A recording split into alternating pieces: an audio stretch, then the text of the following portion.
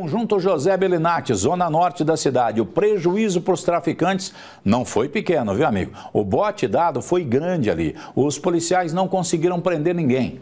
Mas, cara, tiraram uma tantada de droga de circulação. 245 pedras de crack, 281 buchas de cocaína e dois aparelhos celulares, ali no conjunto José Belinati. E mais uma vez, é triste, mas é uma menor que estava traficando, Carol. É, ali no local, a equipe estava em patrulhamento quando avistou uma motocicleta pegando algo de um indivíduo em frente a essa residência. A equipe de pronto efetuou por, optou por efetuar abordagem, o motociclista se evadiu.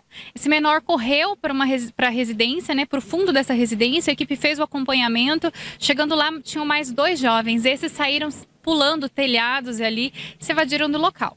Lá ficou uma menor de idade, 16 anos, e foi encontrada toda essa quantidade de substância entorpecente. Bastante quantidade mesmo nessa residência. A menor assumiu toda a droga ali, Carol?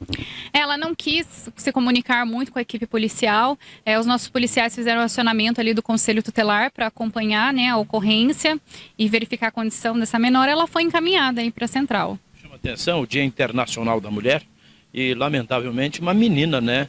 Traficando entorpecentes, o que está virando uma rotina triste aqui na cidade, né, Carol?